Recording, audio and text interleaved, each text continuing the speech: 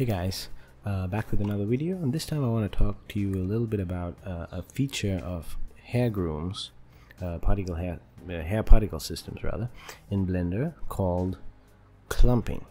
And clumping is a uh, feature of creating hair grooms that will allow us to create some interesting effects and on the screen you can see here that I'm showing you a picture uh, um, the blog post that I've written on my website lunayeti.com uh, dot com slash blog how to create insanely realistic hair grooms in blender for unreal engine 5 and this particular um, blog post is humongous. It's huge and it explains every single notch dial uh, slider number checkbox whatever it is. Every setting that you need to know about hair grooms is in, in blender is explained in this uh, blog post. So over here I have explained what clumping is and I've given some examples and screenshots but now I want to touch on this topic in blender. So let's quickly hop over to blender and here you can see I have a um, hairstyle already created. This hairstyle is just a typical uh, very simple bob cut hairstyle uh, female bob cut hairstyle. And um, it's something that I, I created some time back when I was doing the research for this particular blog post. And uh, what I'm going to do is I'm to introduce as you can see it, it looks interesting but I think we can make this a little bit better. Uh, and one way we can do that is by using clumping. So clumping has a couple of settings here okay? Um, let's take a look. So over here you can access clumping by obviously selecting the hair groom. So in this particular case the hair groom is on a um, scalp object which I've created here. You can see in the outliner uh, bob scalp.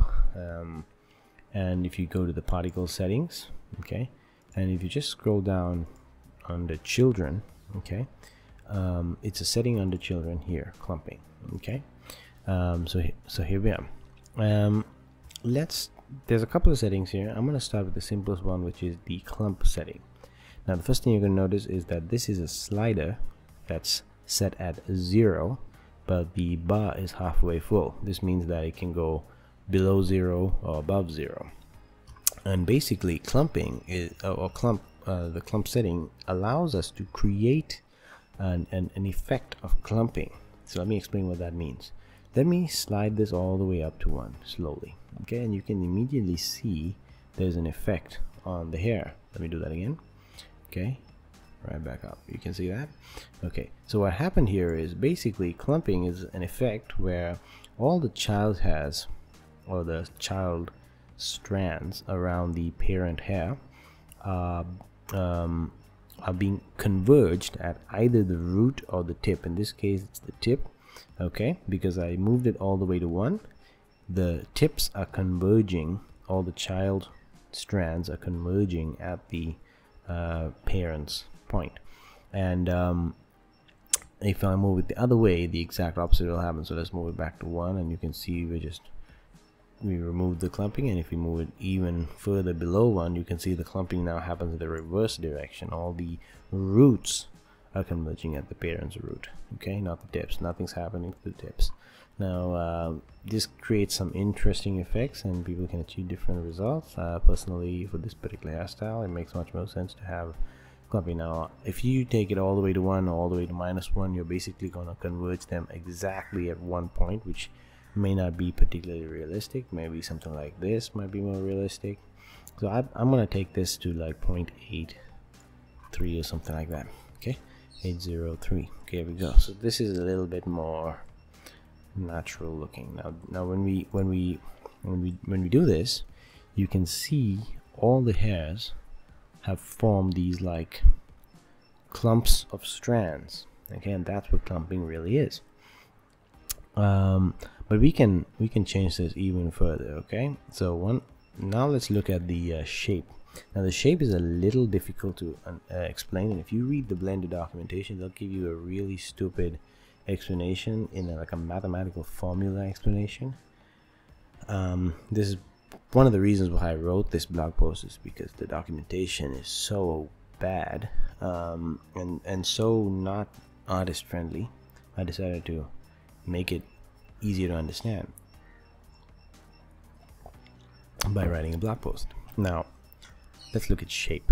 okay now shape okay shape allows us to change um, the shape of this clump let's take a look right now at zero because we're clumping towards the left hand side which basically means the tip has converged. If I were to move the shape okay you can see something really interesting happening. Do you see that? As I move it towards that side you can see the the uh, the shape of this clump is no longer like very uniform where this side is very thick and this side is converging into a smooth point. Let's move this back to zero and you can see that okay? It's thick here really thin here. And if I increase the shape it's actually making the clumps thicker. That's pretty cool actually. I like this okay? Um, and if I were to move it back okay you'll see something even even crazier happening. You can see the shape is now uh, pushing it um, towards the uh, the roots. And the roots look really weird now. Okay this could also work for some kind of cyberpunk you know futuristic hairstyle too in fact. I'm gonna I'm gonna look into that. Um, but um, that's basically what the shape does okay? That's how it controls it. So I think I'm gonna keep it something like this. That's that's interesting. I like this look okay um, and and all this is well and good but now when you look at this it's very very very uniform. Every strand is clumping in exactly the same way okay? And that's not realistic. You don't want things to look like that. You don't want things to be so uniform. In real life things don't look so uniform. There's a lot of randomness. And we can add randomness with noise. And there just so happens to be a clump noise setting which you can just enable. Now as soon as I enable this it's gonna go crazy because the clump noise is way too high the size of the clump noise. Just check this out. Boom what happened? Why is it doing this right? Um, that's because this noise is too much. So let's bring this all the way back down to like 0.01 which is the lowest setting it can go. Okay and then let's just slightly drag this up and you can see how the clumping is just randomizing slightly. Just take a look at just this strand right here this clump right here okay? You can see it's just splitting it into two you know splitting it into two. Other ones are splitting into two. Some some of them might be splitting into like three. Some of them are converging a little bit you know different. It's just adding some noise to the whole thing okay? You probably can see it better if I cancel the shape okay so if you see here you see that? It's just randomizing the shape uh, the, the number of clumps and things like that. So let's just put it at point um, zero five. Um, and that's that should give some randomness and that gives things a little bit more realistic look. Okay and uh, that's pretty much it for clumping. Now there's one last um, thing I, I, like to show you and that is the clump curve okay? And this can be used to control the clumping with a curve. In case you wanted like a much more fine-tuned control over the clumping okay? Um, no I believe if we uh, take this here okay? So you can see here as I drag this down okay this side controls the, the the the thickness of the clumping at the root whereas this side you can see a little dot here controls the thickness of the clumping at the um, tip. And if I were to click a point here and just drag this I don't know something like that I can change the shape using this. You know I can have some weird effects if I wanted to do. okay? And this this will actually give you a lot of control over the actual shape of the clumps. Maybe you want some really weird um, effects like this. You you could um, you could definitely you could definitely do that. Um, let me let me also tell you that you can also change for example if I were to take this by selecting this and I could change this to auto handle uh, or I could change it to vector handle which would make it a little bit more pointy or I could change it to um, extend no uh,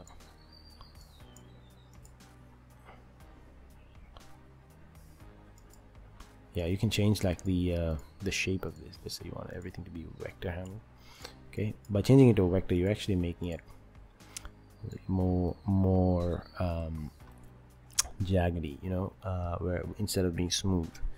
Okay and that's that's also an option if that's something that you're looking at looking looking for. Okay. And there we go we can create some pretty weird rough effects. Um, there are other ways to create roughness which I'll talk about in another video but this is one way. So the clumping curves can just give you that. And in case you did so much changes you know you just you just want to reset everything just click reset curve and you're good to go. You can even um, uh, just drag this back up and it's back to normal okay? Or just disable it and use the clumping curve so, so there are multiple ways to handle clumping. So that's it guys. That's all you, need to know about clumping. Once again if you uh, go to my website uh, lunayeti.com slash blog slash how to create insanely realistic hair grooms in blender for unreal engine 5 which i'll put the link in the description. You can read all about clumping as well as all the other settings like roughness um, and the various roughness settings uh, all the kink settings and etc you can read all about it there. I've written that. And i've also written about how to extract how to create this hairstyle and uh, several others, uh, as well as how to create, how to export this to Unreal Engine and then modify things in Unreal Engine as well.